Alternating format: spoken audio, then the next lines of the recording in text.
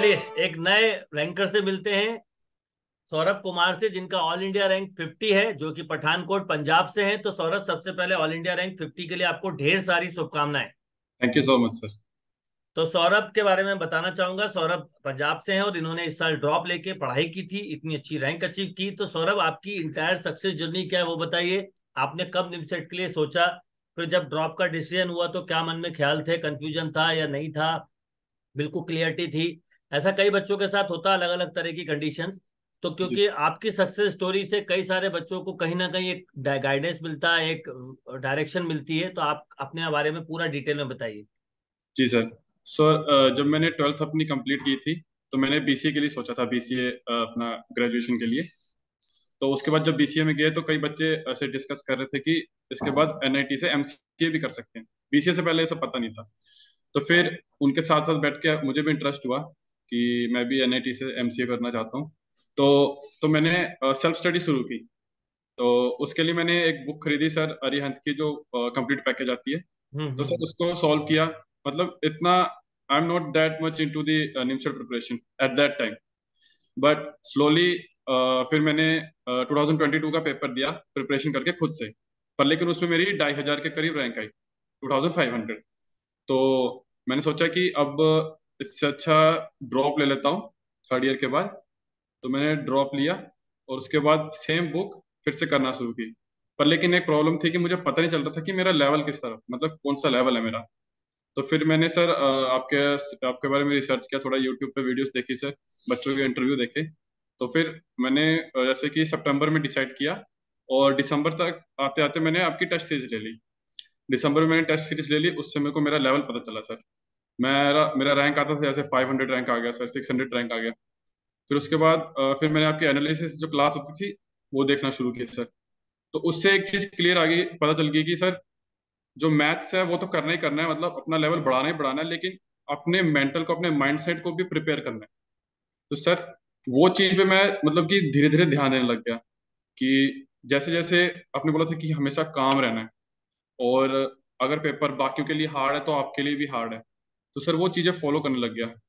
और जैसे कि एक दिन के मैं अगर चार पाँच घंटे पढ़ता था तो उसके बाद मैं एक अपने लिए रिवॉर्ड भी रखता था। जैसे कि मेरे को सर थोड़ा फिटनेस का भी शौक है जैसे शाम को जिम चले गए या रनिंग चले गए तो वो as a reward I always kept that for the evening I did something uh, like if, if I got a great rank in the test series or my study was going good so that was as a reward.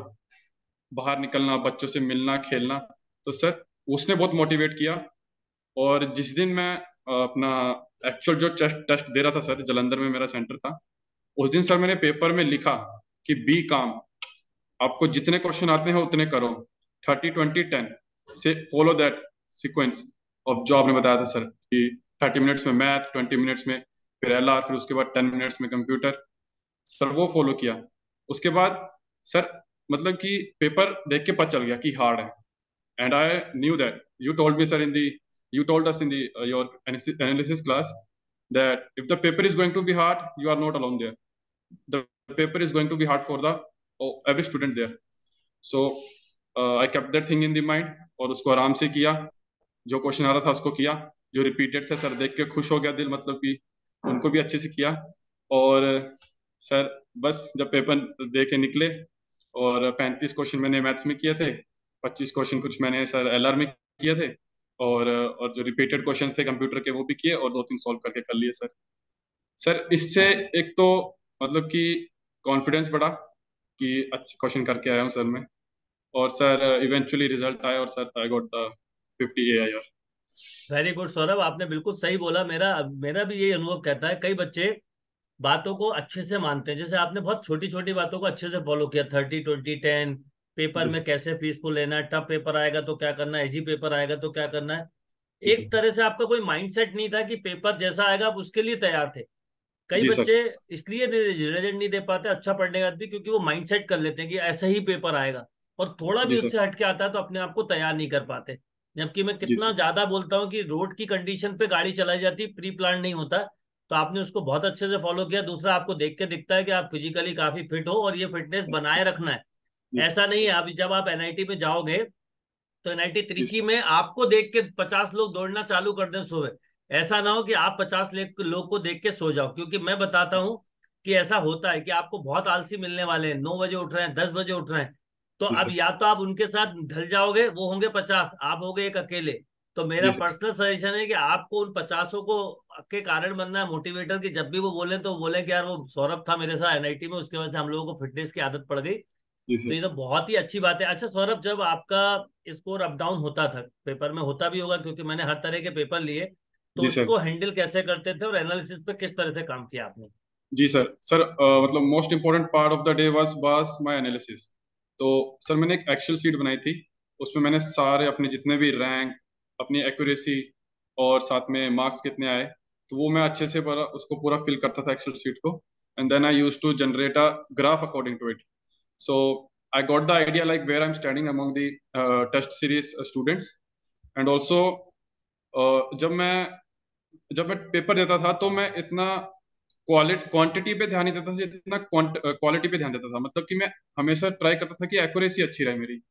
और that same thing happened in the actual paper and my accuracy was good sir that's why I got the rank sir analysis पे बहुत ध्यान दिया sir जो गलती इस बार की है जी सर वो अगली बार नहीं जी सर। जो तो सौरभ अब आप ये बताइए मुझे कि क्योंकि आपने ड्रॉप लिया था तो जो बच्चे ड्रॉप लेने से घबराते हैं उनके लिए आपको जूनियर्स के लिए आपका क्या मैसेज होगा? सर सबसे पहले the dilemma that was created my in my head was कि मेरे घर वाले क्या सोचेंगे? मेरे आस पड़ोस वाले क्या सोचेंगे? सर वो सब आपको दिमाग से निकाल देना कि घर पे बैठा है। ये नहीं ये सब निकाल देना घर दिमाग से अपने। सर अपने अपने को सिर्फ़ अपने बारे में सोचना है और और जब डिसीज़न लेना है तो हंड्रेड परसेंट ये नहीं कि नाइन्टी परसेंट दे दिया और टेन परसेंट किसी और में लगे फिफ्टी परसेंट इसको दे दिया नहीं हंड्रेड परसेंट डिसीज़न लेना है और सर उस पर जब दिमाग में ये आइडिया आया, उसी टाइम काम करना शुरू करना है, सर। सर, ये है कि मतलब कि डिसीज़न ले लो और शुरू कर दो।